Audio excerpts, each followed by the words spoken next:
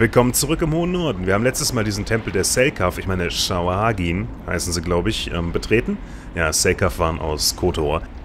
Und sind dabei, sich, äh, wir sind ja. dabei, uns durch die Anhänger von Iskaseracht zu metzeln. Und das war eine Falle. Wunderschön. Die funktioniert zum Glück nicht. Äh, zum Glück ist Sandal durch Handlungsfreiheit, glaube ich, immun gegen Betäubung. Ja, ich glaube, das funktioniert so. Das ist relativ cool, Handlungsfreiheit zu haben. Das hilft wirklich bei vielen, vielen, vielen Sachen. Na gut. Das ist so ein Eiswächter, wie er wahrscheinlich auch vor dem Eingang rumstand. Und der wird mich dann angreifen, sobald ich eine gewisse Schwelle überschritten habe und mich zu weit vorgewagt habe. Dann schauen wir erstmal seitlich. Vielleicht kann ich ja noch ein paar Fallen. Oh ja, ihr seid... Ich weiß gar nicht, was ihr seid. Vodianoi. Ich habe keine Ahnung, was ihr seid. Ihr seht aus wie so eine Mischung aus Ankek und ähm, Shawahagin. Ja, schieß mal auf den.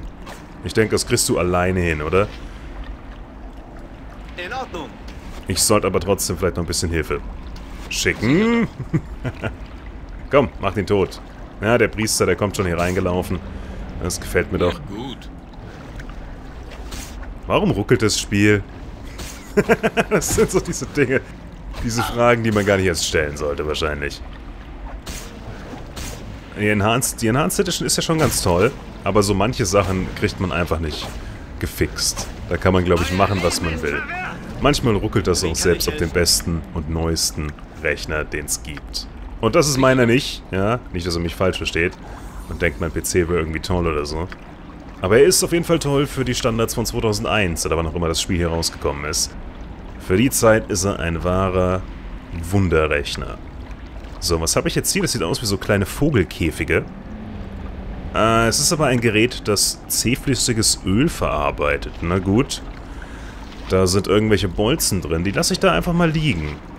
Ja, weil Bolzen benutzt niemand von meinen Leuten. Ich benutze entweder Pfeile oder Schleuderkugeln. Aber Armbrüste benutze ich gar nicht. Habe ich keine Waffenpunkte drin, habe ich glaube ich auch keine aufgehoben. Die habe ich, wenn dann, alle verkauft. Und vielleicht noch manisch gelacht. Okay, guck hier mal nach Fallen. Hier könnten ja überall welche liegen. Und dann... Oh!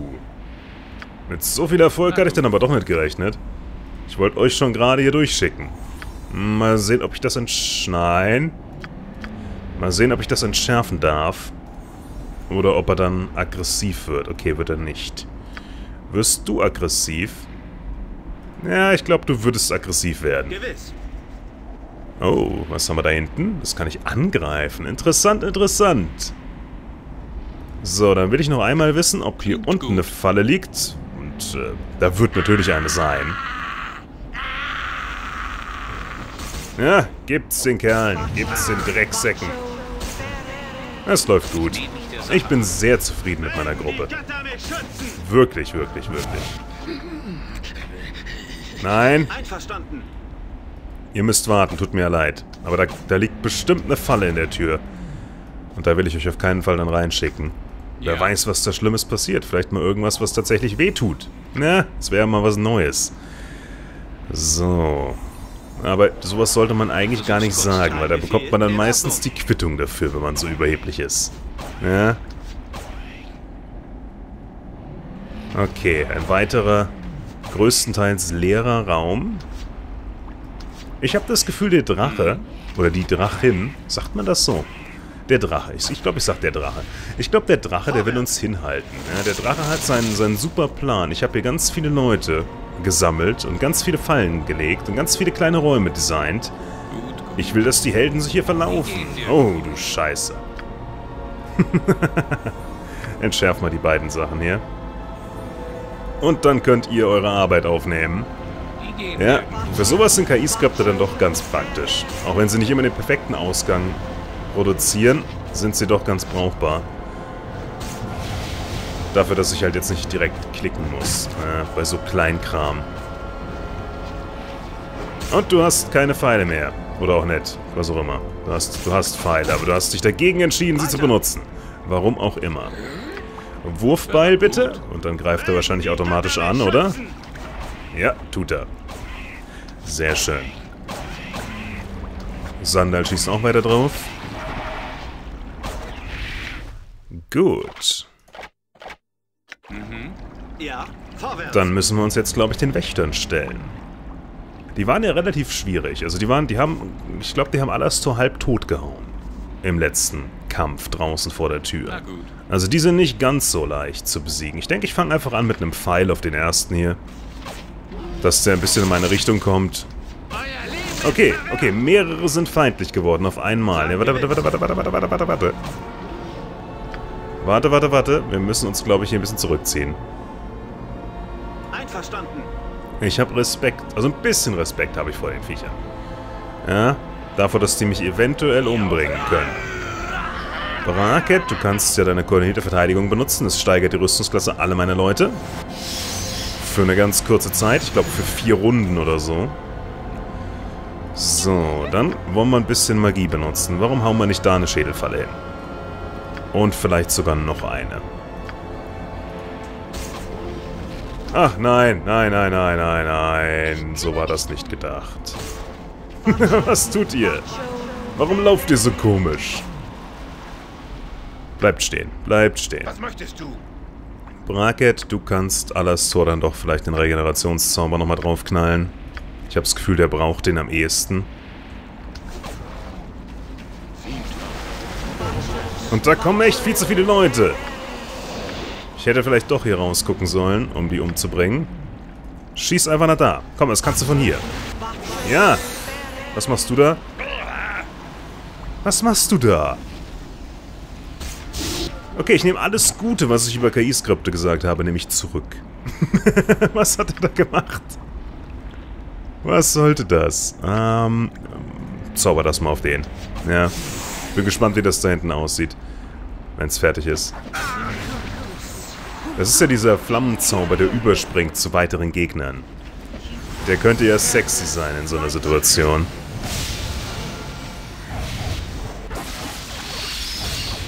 Andererseits scheint er ziemlich isoliert gestanden zu haben und deswegen war das nicht besonders sexy. Ich mache jetzt mal die KI aus, weil hier stört sie tatsächlich ein bisschen. Und dann werden wir euch mal alle nehmen und in die Ecke hier stellen. Das ist so meine Idee. Dann nehme ich meine Nahkämpfer und werde euch auf, den, auf die Eisgolem-Wache hier fokussieren. Und Sandal kann ja auch auf den Eisgolem schießen. Dann nehme ich mir Mev, die ein Level-Up hatte. Und dann hauen wir nochmal einen Schädelfällchen da hinten hin. Das sollte schnell draußen sein. Und vernichtenden Schaden anrichten. Ja, das sah doch gut aus. Ich glaube, ich habe euch da hinten alle getroffen. Sehr, sehr schön. Sandal, ich glaube, der schießt auf dich. Oder, nee, jetzt ist er weg, oder was? Irreführung Mev. Was zum Teufel bedeutet das? Hm. Ihr macht mal weiter. Bringt weiter Leute um. Den. Den. Brauchen wir einen wahren Blick von Alastor? Ich, ich lasse es erstmal so. Ich bin mir nicht sicher, was diese Irreführung bewirkt hat. Aber die Gegner jetzt sollten ja eigentlich kein Problem mehr sein. Ich denke, wir haben den großen Widerstand gebrochen, dadurch, dass wir die drei Eisgolems, oder was das waren, getötet haben. Hm. Ich habe immer noch diese ganzen Abidal-Sims, die ich nie benutze. Meine Güte. Und ich fange jetzt nicht damit an, ja. Renn mal ein Stück weg. Hey! Weitermachen. KI an. Ja, KI an. Ist das Beste. Dann kannst du dein Schwert nehmen, kannst auf dem rumhauen. Ihr beide helft. Und dann kann die KI ihr wunderbare, ihre wunderbare Arbeit verrichten. Ja, denn für die kleinen, für den Kleinkram ist sie, ist sie genug. Los, nochmal. Ja, so ist gut. Schauen wir mal, was die haben fallen lassen. Mehr von diesen Bolzen, die ich nicht aufhebe. Und, äh... Oh, okay. Es geht weiter. Angriff! Keine Müdigkeit vor Schützen. Ja. Was machst du da? Das ist nicht gut. Das ist nicht gut. KI wieder aus. Weiter. Das kannst du Ich machen. versuch's kurz zu machen. Du wirst den ersten umbringen. Und dann danach Fallen suchen, aus sicherer Entfernung. Ja, Das ist der Plan. Ich habe keine Lust, ähm, meine Leute an Fallen zu verlieren, ohne dass ich gespeichert habe vorher. Das wäre jetzt nämlich ärgerlich. So, wir wissen, eine liegt hier. Okay, dann schieße ich halt von hier auf dich. Ist auch kein Problem. Und dann gehen wir einen Schritt weiter, einen Schritt weiter, einen Schritt weiter. Und machen das einfach nochmal. Wir haben auch wieder Level-Ups zu vermelden. Das ist sehr schön. Ich mag ja Level-Ups. Level-Ups sind ja, ich weiß nicht, 80%. Nee, sagen wir die Hälfte. Die Hälfte von einem Rollenspiel sind fast die Level-Ups. Ist einfach die Charakterentwicklung. Zu wissen, man fängt als Schwächling an und wird immer und immer und immer und immer stärker. Und die Leute, die am Anfang einem noch eine Herausforderung geboten haben, sind am Ende schwach. Und man tötet sie im Vorbeigehen. Das ist so... Das ist ein Riesenteil für mich von Rollenspielen. Dass man einfach besser wird. Man muss nicht mal als totaler Niemand anfangen. Ich meine zum Beispiel Baldur's Gate 2.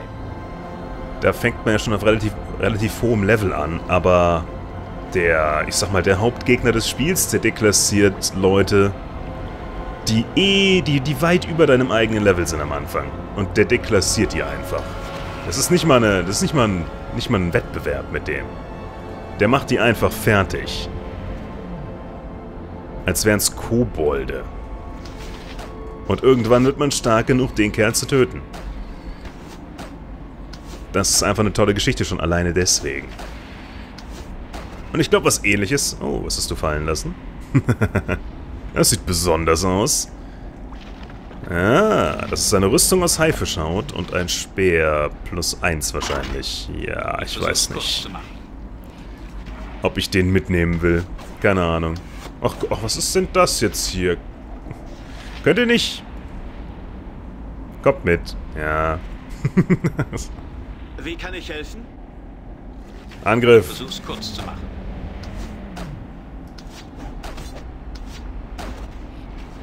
So, ihr macht den schön tot. Und dann werde ich meinen Fern... In Nein. Pfui. Klingt gut. Du musst nicht zurückhauen. Nein, nein. Lass das Sandal auf dem Fernkampf erledigen. Oder mit Fernkampf erledigen. Der kann das genauso gut. Und der rennt nicht in eventuelle Fallen, die ich hier noch nicht gefunden habe.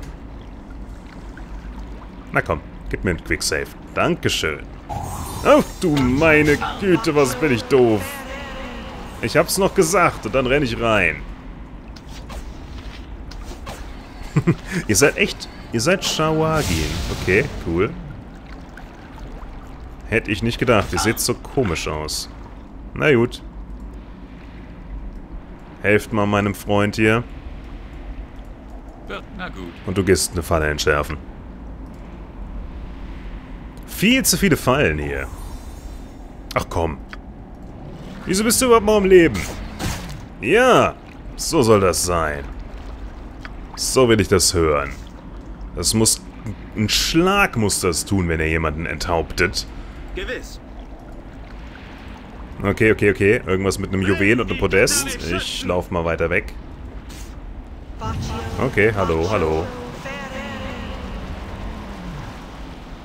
Ich habe das Gefühl, die KI ist auch besser als das, was ich jetzt hier gerade gemacht habe. Weil die KI, die macht dann nur, glaube ich... Ja, die wechselt einfach das Ziel. Und dann wechselt er auch das Ziel. Warum auch immer. Als würden die miteinander kommunizieren, die beiden KIs. Die KIs von den, von den, von den Fischmenschen würden mit äh, der KI von meinen Leuten kommunizieren und sagen, ach, wir wollen uns treffen. Ja, okay, dann kommen wir her. Oh, ein Prinz. Dann wollen wir doch mal schauen, was der Prinz so kann. Na, bist du Prinz Charming oder bist du einfach nur so ein, so ein dahergelaufener Prinz, der nichts kann? Ich denke, du bist einer, der nichts kann. Das sah stark danach aus. Was haben wir denn hier? Du hast eine Korallenpanzerrüstung und einen Umhang, der verdächtig aussieht wie ein Schutzumhang plus 1. So, oh, oh. Vorwärts. Stopp, stopp, stopp. Gewiss. Na gut. Das kannst du erledigen. So, dann kommt mal mit, meine Mann. Wir gehen links rum, habe ich mich entschieden.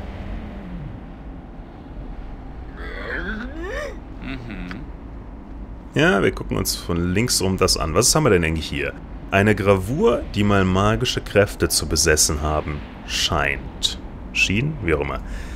Und was haben wir noch? Wir haben eben noch was mit einem Juwel angeklickt hier, oder? Ach, da. Um dieses, um, um dieses Podest liegen Stückchen eines zerschmetternden Juwels. Zerschmetternden Juwels, ja. Harte Ds. auch als Ts bekannt. So, und schauen wir mal hier in dieses, was auch immer das ist. Und heben eine Harfe heraus. Oh yeah. Eine Harfe. Ach. Warum bist du noch nicht tot? Ach, jetzt fängst du an zu zaubern, oder was? Das kannst du mal vergessen. Was haben wir hier? Eine Keule. Gut, gut. Das ist lustig, weil ich habe niemanden, der mit Hafen umgehen kann und ich habe auch niemanden, der mit Keulen umgehen kann. Außer Keule ist irgendein Euphemismus. Für ihr wisst schon was. Klingt gut. Klingt gut. Oh, da war ein Schlüssel. Ein einfacher Schlüssel, den nehmen wir auf jeden Fall mit. Ich denke, den ganzen Rest lasse ich einfach liegen. Ein Morgenstern. Okay, kein Platz mehr. Das heißt, wir müssen aufräumen. Und ich denke... Oh, das kommt weg. Bevor wir aufräumen, machen wir Level-Ups mit wenigstens Lina, damit Lina noch ein bisschen höhere Sagenkunde bekommt. Die steigt nämlich um 3, damit ist jetzt bei über 80 und das kann ja eventuell von Vorteil sein. Ja, ich kann eine, eine weitere Faust von Bigby lernen. Ich bin so langweilig, was meine, meine Zauberwahl angeht irgendwie. Hm. Muss ich mal in den Griff bekommen irgendwann. So, was haben wir hier eigentlich? Die Rüstung aus Haifischhaut ist nicht besonders gut, wenn ich mir das so anschaue. Nee, die ist Müll. Die, kann, die mag vielleicht was wert sein, aber viel... Viel wert für mich ist sie nicht. So, meine plus 1 Pfeile gehen mir langsam aus. Oder habe ich welche im, im Beutelchen? Nee, ich habe keine mehr im Beutelchen. Ah, also es gibt kaum genug plus 1 Pfeile. Für den Endkampf noch, hm? So, die Harfe.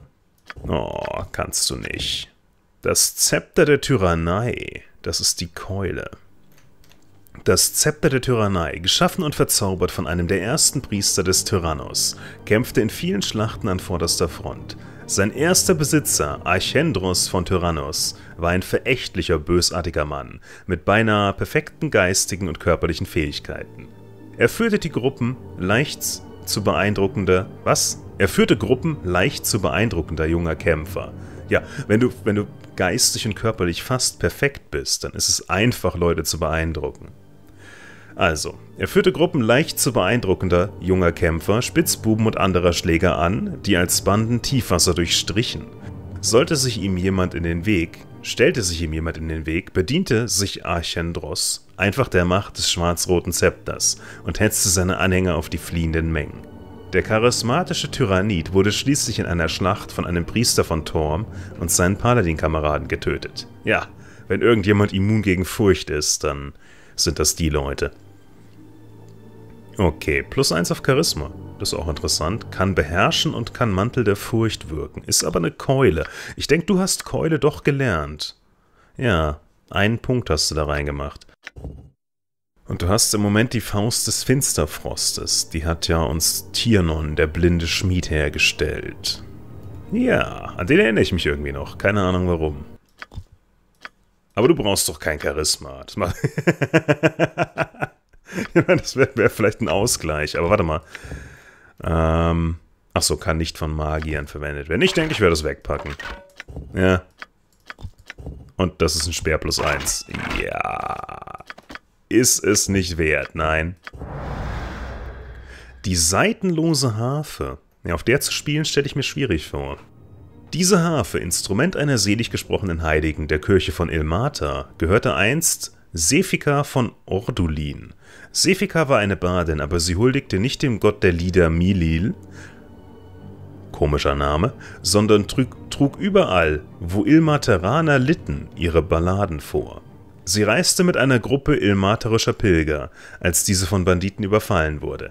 Die Banditen töteten viele der Pilgerer oder verwundeten sie schwer und sie zerschnitten die Seiten von Sefikas Harfe, als sie versuchte, die verwundeten Pilgerer zu beruhigen. Pilger. Hm. Als die Banditen fort waren, betete Sefika zu Ilmata um Hilfe in dieser schweren Zeit. Als sie mit zum Gebet geschlossenen Augen an den Seiten zupfte, ertönte auf wunderbare Weise Musik und heilte jeden, der sie hörte. Am nächsten Tag kamen die Banditen zurück und töteten Sefika dafür, dass sie die Pilger geheilt hatte. Doch die Pilger behielten das Wunder in lebendiger Erinnerung und ihre Gemeinschaft versuchte, sie zu ilmaterischen Heiligen zu machen. Oh, kann einmal am Tag heilen. Äh, weg damit. Ja. Weg damit. So, was haben wir noch? Ich habe das da aufgehoben. Und diesen ominösen Umhang. Der ein Schutzumhang plus eins ist. Also ist überhaupt nicht ominös. Und das ist eine Korallenpanzerrüstung. Minus zwei auf Geschicklichkeit. Ja, da bin ich ja schon, da bin ich schon fertig mit dem Ding. ich liebe Geschicklichkeit. Ich würde nie sowas anziehen. Außer ich habe unter 14 Geschicklichkeit, dann kann man es anziehen. Das ist egal. Aber egal. Okay, das war ein Level-Up für Sigor, wo er fast gar nichts bekommen hat, aber er ist fast Level 30. Das ist doch auch mal schön. Ja, eine Stufe oder ein Level noch bis Level 30. Gehen wir beim Mev noch ein Level hoch und wir bekommen nicht mal einen neuen Zauber. Das ist ein bisschen enttäuschend. Ja, das ist ein bisschen enttäuschend, ehrlich. Klingt gut. Ich hätte gern einen neuen Zauber gelernt. Ich finde, man sollte immer neue Zauber lernen dürfen. Gut, gut. Aber was, was beschwere ich mich? Ich habe mir die Klasse ausgesucht, ja. Der Drachenjünger. Hm, keine Fallen? Seid ihr sicher? ich, ich, bin gespannt. Oh mein Gott. Wunsch. Und Zeitstopp. Oh mein Gott. Lina. Du bist... Äh, du kriegst ein... Du kriegst ein Upgrade gleich. Ja? Ich muss nur noch mein Inventar aufräumen. Ähm, geben wir den Schlüssel, Schlüssel mal dem Chef. Können wir uns eigentlich auch noch angucken, den Schlüssel. Ich bin gespannt, ob... Okay, nicht, nichts Bemerkenswertes an dem Schlüssel. Es ist bemerkenswert, wie wenig bemerkenswert dieser Schlüssel ist. So. Mal schauen, ob das auch Ilmata-Gegenstände sind. Der Tempel von Loviata im Tal der weinenden Frauen, der die schwarzen Türme der Jungfrau genannt wird, das ist ein guter Titel für einen Tempel, da würde ich vielleicht auch mal reingehen, genoss schon immer die Freiheit von kirchenguter Gesinnung, nach der sich so viele andere böse Tempel sehnen. Allerdings sind zum Schutz dieses großen Tempels vor Angreifern und Spionen sehr viele Soldaten nötig. Der Anführer der Tempelgarde ist als die Peitsche des Gehorsams bekannt. Das könnte ja fast ein Drow-Name sein. Ich bin die Peitsche des Gehorsams und die Mutter Oberin schickt mich, um dich zu disziplinieren. Ja, so gehen all die guten Drow-Filme los, die ich im Internet gesehen habe. Er war traditionell mit einer magischen Hellebarde und mit dem Namen Ikone der Macht, also die, die Hellebarde hieß Ikone der Macht, ausgerüstet. Wenn die Tempelgarden die Ikone an sich vorüber ihre Runden ziehen sahen, nahmen sie ihre Pflichten ein wenig ernster. Zum Unglück der Peitsche beschloss ein schlauer menschlicher Dieb aus El Turel, die Ikone als persönliche Herausforderung zu stehlen. Der Dieb, dessen Name noch immer unbekannt ist, sein, konnte sein Vorhaben tatsächlich in die Tat umsetzen und verkaufte die Ikone an die Kirche von Tyrannos. Die Tyranniter behielten die Ikone aus Verachtung für die Inkompetenz der mittlerweile verstorbenen Peitsche. Und das ist eine Standard plus 3 Hellebarde, die ein bisschen Schmerzen anwenden kann. Okay, nicht schlecht.